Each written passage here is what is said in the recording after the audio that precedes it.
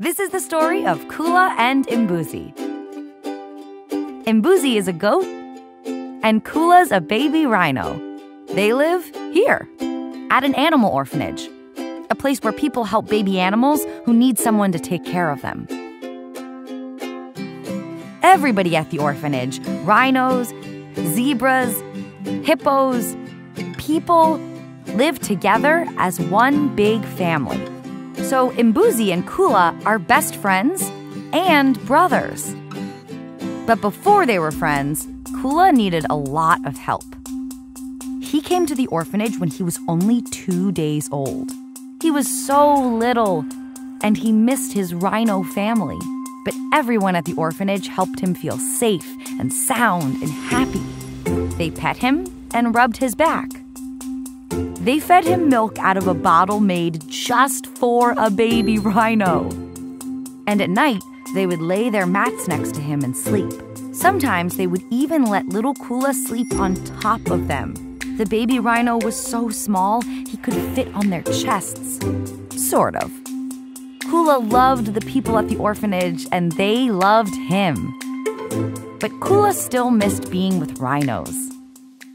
There were others around, but they were older and bigger. Kula wanted to spend time with them doing rhino things, like eating grass and knocking their heads together and rolling in dirt.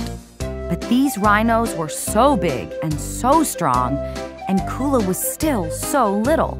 If they played together, Kula could get hurt. So even though Kula had a big family with lots of people and animals to love him, Kula still felt alone.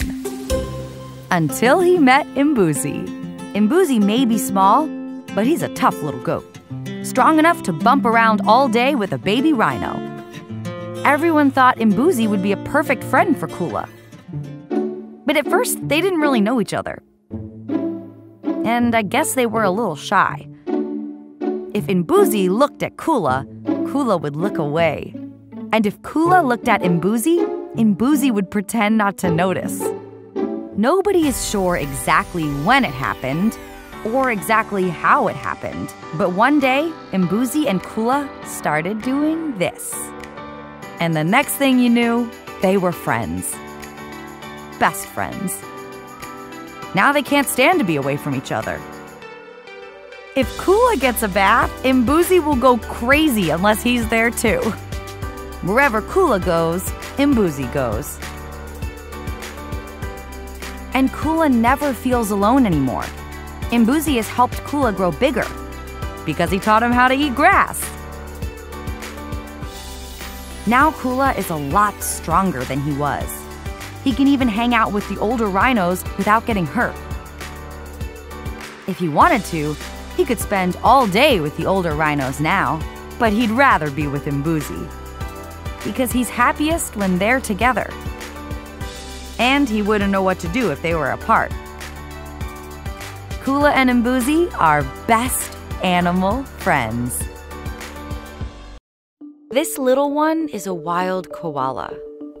But he's not where a wild koala should be. Koalas live in eucalyptus trees in the forests of Australia. But wildfires took away this koala's home. And now he has nowhere to go. And he isn't feeling well at all. So when he saw two campers coming closer, he walked right up to them. It must have been scary to come close to people he didn't know. But this was a very brave koala. Right away, the two could see he needed help. Why else would he have come so close? They decided to become his rescuers. The new rescuers wanted to find him some food to eat and eventually bring him to an animal hospital. That meant they'd need to put the koala into their car. They picked him up as gently as they could. He didn't seem to love it, but he was too tired to complain. With the koala in the back seat, they drove out of the burned forest, stopping at the first green tree for a koala snack. He must have been so hungry because he spent the rest of the ride eating. The rescuers knew they had to get the koala to a vet who could help him. But when they arrived at the hospital, it was closed. They weren't sure what to do. So they decided to bring him to their campsite and come back the next day. But would the koala stay with them the whole night? He was a wild koala after all. They brought the koala to a little tree right next to their campsite. They gave him some leaves to eat and made a promise to see him in the morning.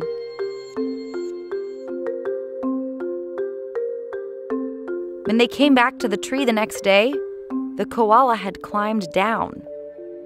He still seemed like he wasn't feeling well. But he was maybe a little hopeful, too. Because his rescuers were back. And this time, they were going to find a vet no matter what. They placed him back in their car and drove him right to the animal hospital. He seemed like he knew he was finally going to be safe. When they got to the animal hospital, it was open. Everybody was so happy. They said goodbye to their new friend and gave him to the veterinarians. These two campers probably didn't start their day thinking they'd become animal rescuers. But sometimes an animal will walk right up to you and ask you to be their hero.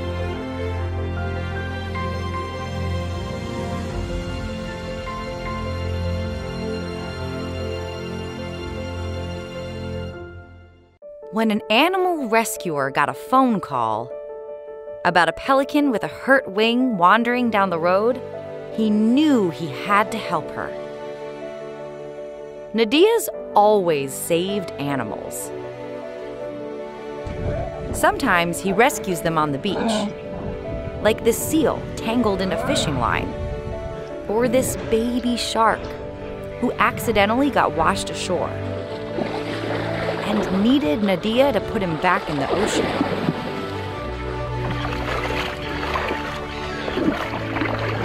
Other times, his rescues take him way out on the water like when he freed this guy from a plastic bag, or helped an injured sea turtle. The turtle's probably thinking, Thank you, Nadia. But Nadia's biggest save of all time was this whale who was stranded on the shore.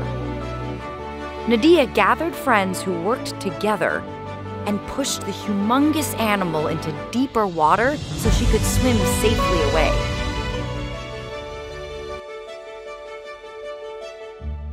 So, as soon as Nadia heard about a pelican who needed help, he searched all over. But he couldn't find her. Until the next morning when he took his son's school class to the beach and spotted something. It was the hurt pelican. Since there was no animal hospital around, Nadia decided to take the hurt bird home, where he would take care of her himself. Before long, Elsa was part of the family, and she was really happy in her new home. Nadia put medicine in her food and helped her practice moving to make her wings strong again. Elsa was basically the queen of the backyard. Elsa loved her rescuer.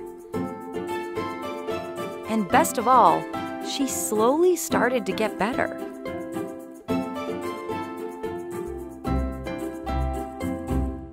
Then, something amazing happened.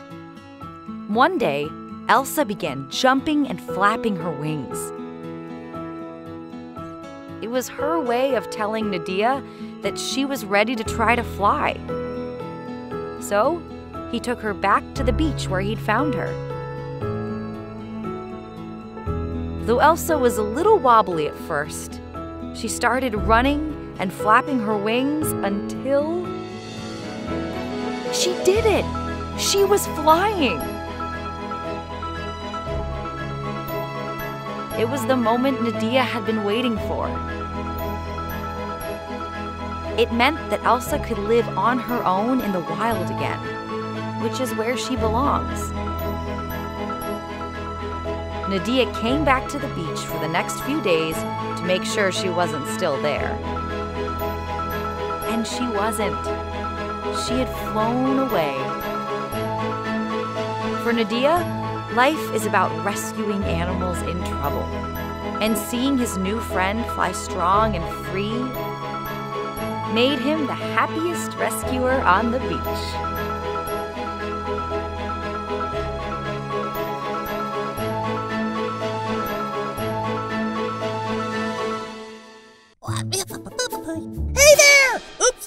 Sorry, jumped too far. Thank you. Okay, let's try that again. Hello! My name is Seamus. I'm a bird. I live in a house, but not a birdhouse. But there's birds here. There's this bird, and this bird, and this bird, and this bird, and that bird, and we all live in the house. But it's not just birds. There's also these things. I don't know what they are. They have wings like birds, but they're not birds, and I'm very confused by them. Until I figure out what they are, I am just gonna call them flappy tigers. If that is their real name, I think I deserve a prize or something, don't you? But besides birds and the flappy tigers, there's also people! Real people! Giant people! They found me when I was a tiny little baby bird. My feathers looked weird because I was a baby. Now my feathers look like this, just a reminder, but they used to look like this. Grown-up feathers, baby feathers, grown-up feathers, baby feathers. Ah, memories.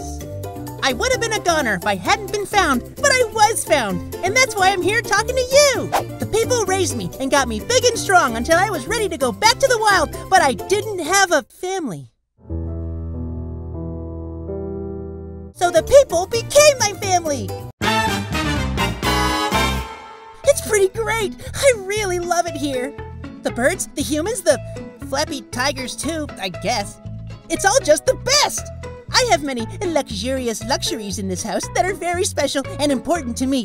For example, each and every morning I take baths in this little dish, which I will now demonstrate. Watch closely, please. Ta-da! Oh, I'll get a towel for the mess. Sorry! Don't worry, nobody's mad about the water. I promise. We're a very close family. They even let me sip right from their drinks.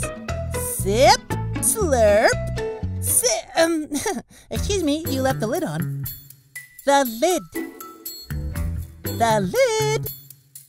The lid on the drink. I wish to sip the drink, but there's a lid on it. so forgetful. I love everybody here. We're always doing fun stuff, basically all the time. Like crazy freestyle bird dance dance offs. Go, go, go, go, go, go. Dance, dance, dance. And we play this game I invented called Attack the Hand. I'm a getcha. I'm a getcha.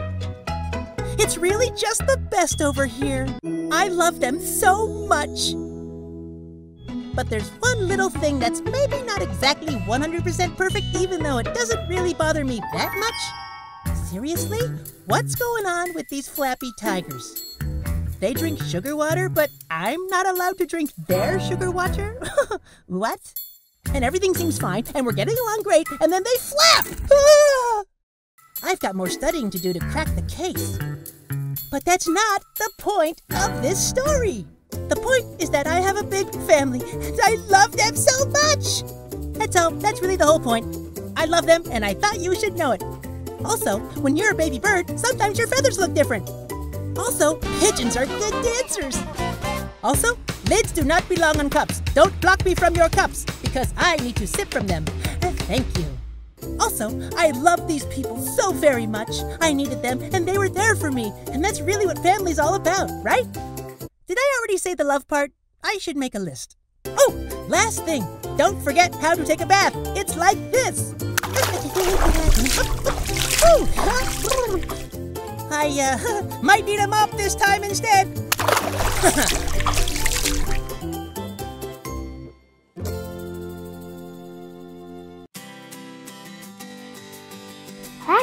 tiny. I've never seen a baby squirrel before. I've only had those squirrels climb on me because I was feeding them nuts. Peanuts, walnuts, hazelnuts, I think. I'm not sure. the rescuer found the little squirrel on the sidewalk. What's up, little buddy? He fell from this tree. But where's his mom? This rescuer is going to help find her, no matter what. He hopes the squirrel's mom is nearby, but he can't see her. And he's starting to worry that the baby might be hurt. Even though he may look fine, he may not feel fine. So he decides to take the baby inside to come up with a plan. His little feet and legs look like they're wiggling. And he kind of shrugs when he's touched. So he's probably okay. Baby squirrels are usually pretty tough. But the rescuer doesn't know what to do next. Maybe the rescuer's dog knows what to do. Okay, I don't think he has an idea. The rescuer decides that before he tries anything else, he needs to do everything he can to find this baby's mom. So that's what he did with a towel, and he put the baby on the towel. Oh, And then he taped the box to a palm tree. At first, I didn't understand the plan, and then I just was like, oh, he's taping it to a tree to make it so the mom can see him. He's not sure how long it'll take, but he won't leave until the baby is safe. And neither will his dog. They're a good team. But as the sun sets, he starts to get worried that the mom isn't coming. Then he hears chirping. He thinks it sounds like a mom squirrel. There she is, in the tree. That's gotta be the mom. Her tail is frantically flicking. Hey, don't worry, baby, I'm coming. And then finally, she goes to her baby. The squirrels are together again. But then the best thing happened. The mom came back down the tree. I think she's saying, Thank you for rescuing my baby. Baby animals fall down from trees a lot. But it's okay because you know what? There will always be rescuers there to help. Even if it means taping a box to a tree and waiting all day with your dog. That's a good boy.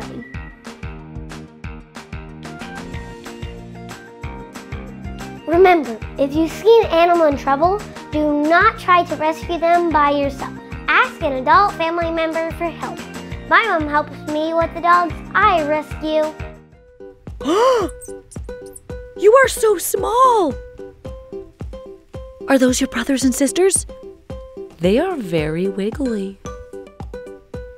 You're so tiny, you have to drink milk from a paintbrush. Good morning, little one. Did you enjoy your breakfast? You're way too little to be on your own. But you want to go home, don't you? Don't worry, little buddy, we'll get you there. We just need you to be big enough first. Then we can set you free. One day old. How did you get to be so small? I know you're gonna grow bigger, but I wish you could stay this size forever. Look at that little nose sniffing the world.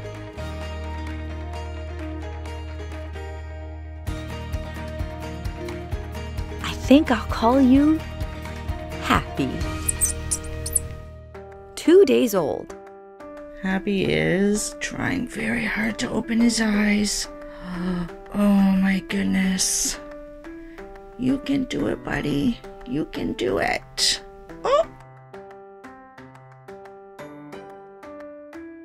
Here's the paintbrush again. Time for another snack with those tiny teeth. Oh, nom nom nom nom nom nom. There you go. There you go. Five days old. Does somebody need to go to the salon? I think they do. You are the tiniest big mess I've ever seen. Look how handsome. Eight days old. Oh, your first steps. Hi, buddy. What are you doing? Are you climbing the mountain?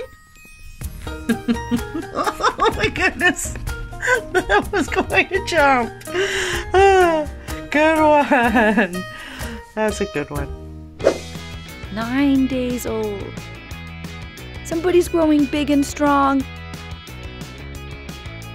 Now you're cleaning your face all by yourself. And your tiny little ears are starting to stick up. And so's your funny hair. Time to check on your brothers and sisters. Oh, tickle time.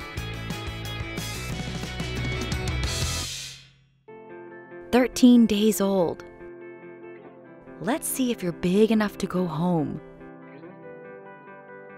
Almost. Just a few more days now. 16 days old. Look at how much cute. I can fit into one hand. You're eating by yourself. 25 days old. Ah, I'm gonna miss you guys. Oh my goodness. Look at how grown up you are. You're almost ready to be on your own, huh? I think it's time. It's a big day for these little mice. He's gonna smell for a little bit first, hey? Okay. Come on, Happy. You can do it. Come on. I know it looks a little different, smells a little different, but it's where you're meant to be. That's it.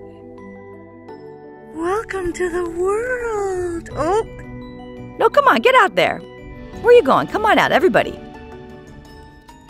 Yeah, see? You're doing it. Can you believe you used to be so small? You had to drink from a paintbrush? And now you're all grown up. Welcome to the world, little buddies.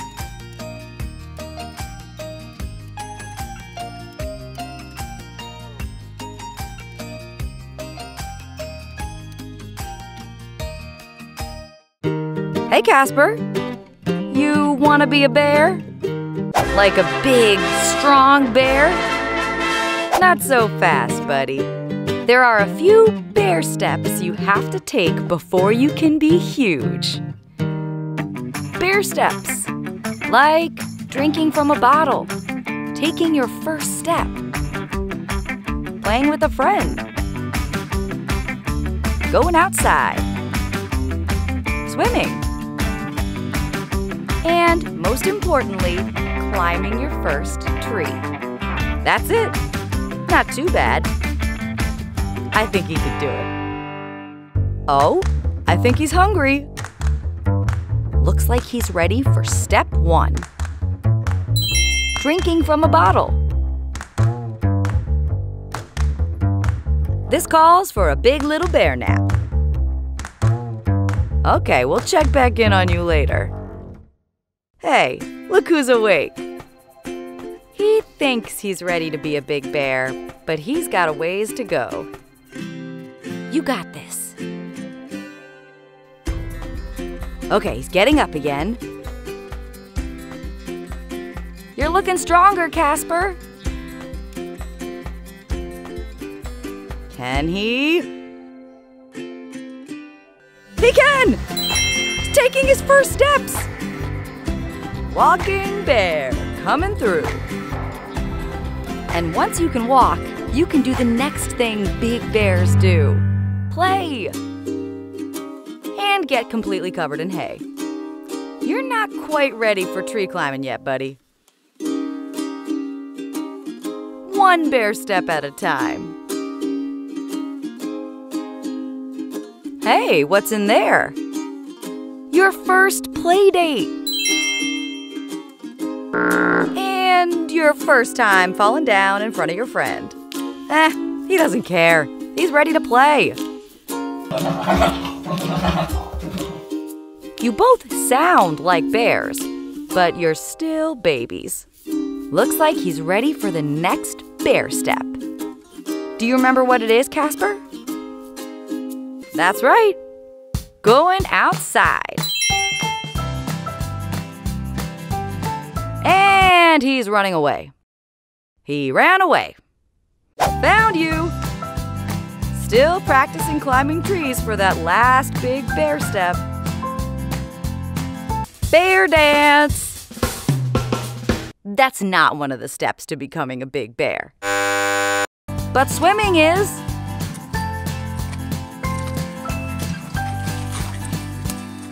Well, that is one way to get in. It's time for the last step. You're almost there. Just have to climb a tree. Okay, this right here is some good climbing practice. Just taking a quick break to play tag. And another dance. Where are you going? Hmm, Casper? Hey, there's a bear in that tree. A big bear named Casper. Oops, sorry. Make that two big bears.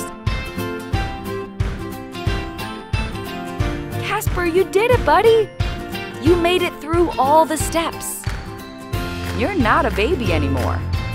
You're finally a big, strong bear.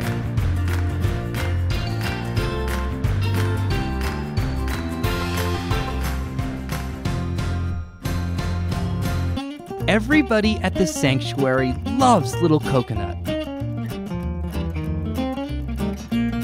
She's funny, friendly, and weird.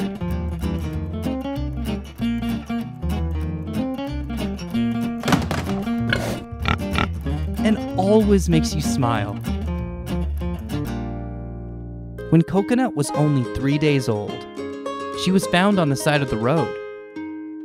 She was tiny and all alone. But the people at the animal sanctuary rescued her. Now she's the only little warthog at a huge animal sanctuary. There's so much that's special about the animal sanctuary.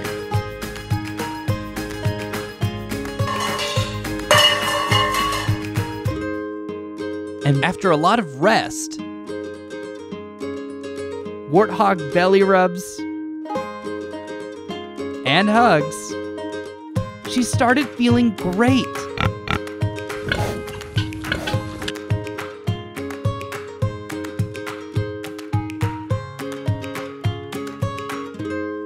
But it's not quite the same as having a warthog family in the wild. And sometimes, Coconut can feel lonely. Then one day, Coconut found Chundu. Chundu's definitely not a warthog. But Coconut loves being with him. And Chundu loves her too.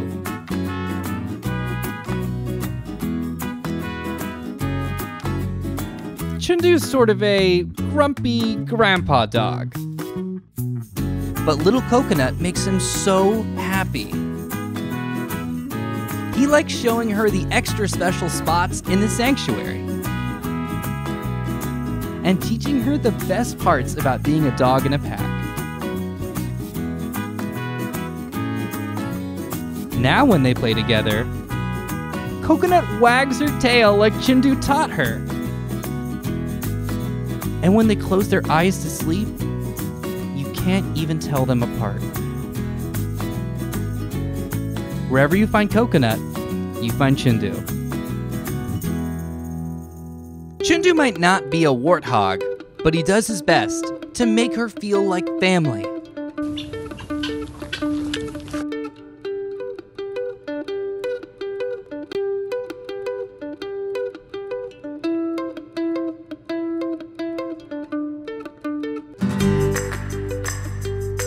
When the time comes for her to go to a bigger sanctuary, where she can meet other warthogs who will help her grow up to be the big, strong warthog she's meant to be, she knows exactly who will be there to help see her off. Her honorary warthog, Chundu.